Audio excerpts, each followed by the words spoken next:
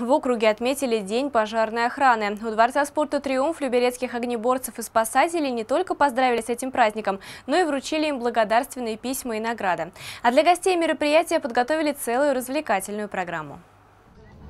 В Люберецком пожарно-спасательном гарнизоне сегодня более 350 человек. У Дворца спорта «Триумф» в праздничном построении приняли участие курсанты, ветераны службы, школьники и, конечно, действующие сотрудники. Большинство из них трудится здесь уже не первый год, как Виталий Глушков. Он работает в этой службе уже 10 лет. Была мечта с детства. Пришел в пожарную часть, и что-то, наверное, в душе отложилось у меня. И э, решил для себя стать пожарным, и я ни грамма об этом не жалею. Я знаю о том, что я помогаю людям.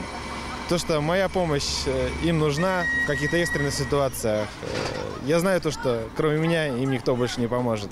В этом году пожарной службе исполнилось ровно 100 лет. В этот день многие удостоились наград и памятных подарков. С профессиональным праздником люберецких пожарных также пришел поздравить и глава округа. Я вам искренне желаю, чтобы желательно вы находились скажем, ну, в своих гарнизонах, на рабочих местах. Желательно, чтобы вас, ваши выезды были минимизированы. Я искренне вам пожелаю, чтобы в ваших рядах, как говорят военные, не было бы физических потерь. Это вот тоже очень важно. Поэтому, друзья мои, с праздником, здоровья, благополучия.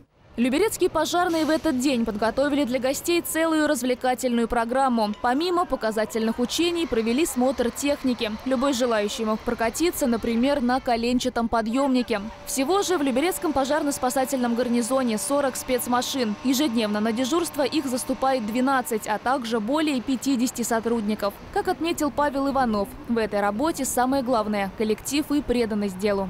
Просто так быть пожарным невозможно. Надо жить этой профессией, этой работой, любить ее.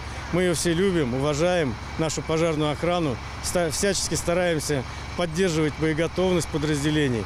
Ну и заботимся о личном составе, заботимся о своих ветеранах.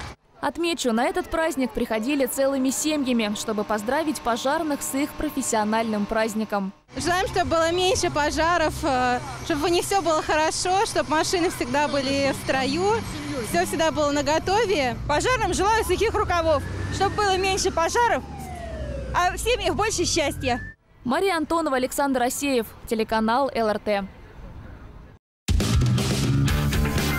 привет! Я Анна Троян, вы смотрите ЛРТ. Подписывайтесь на наш канал на Ютубе и ставьте лайки. Будьте в курсе самых важных событий.